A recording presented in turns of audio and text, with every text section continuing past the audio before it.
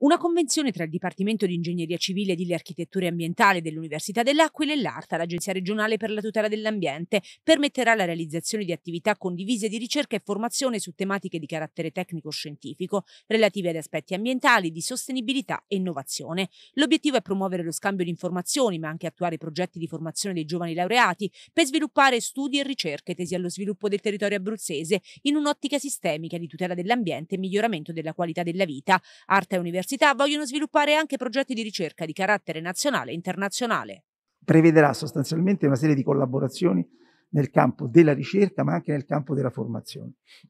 Quindi diventa, tra l'altro prevede anche la formazione di un tavolo congiunto proprio per portare avanti questo tipo di iniziative.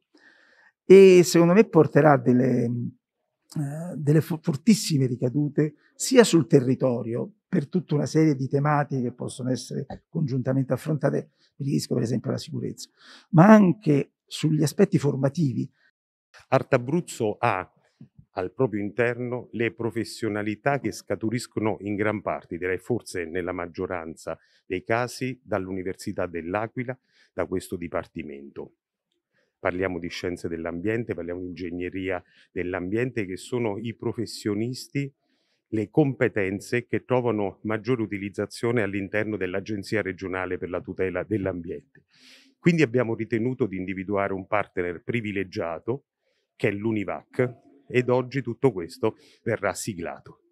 L'intesa è stata benedetta in conferenza stampa alla presenza anche del rettore Edoardo Alessi e di docenti e ricercatori del Licea. L'accordo si inserisce appieno nelle attività che riguardano il corso di laurea magistrale in ingegneria per l'ambiente e il territorio, coordinato dal professor Alessandro Marucci. Una prima collaborazione operativa che l'Ateneo ha proposto all'Arta è l'approfondimento di una ricerca finanziata dall'Ateneo sulle emissioni in atmosfera dovute ai cantieri della ricostruzione, ricerca coordinata da Marianna Rotilio. Nell'ambito di tale ricerca si stanno monitorando le polveri prodotte dalla demolizione di alcuni aggregati in centro. Era presente anche il professor Berardino Romano, che si occupa di pianificazione territoriale. Per l'assessore all'ambiente della Regione Abruzzo Emanuele Imprudente si tratta di un'occasione unica una collaborazione, una sinergia che inorgoglisce con, come Regione Abruzzo questo tipo di iniziativa che ecco, fa crescere complessivamente sia la qualità eh, di offerta che c'è per i giovani studenti universitari con il discorso tirocinio, al tempo stesso Arta acquisisce tutta una serie di, di conoscenze che eh, elevano la qualità del, dei risultati delle nostre azioni che vengono messe in campo.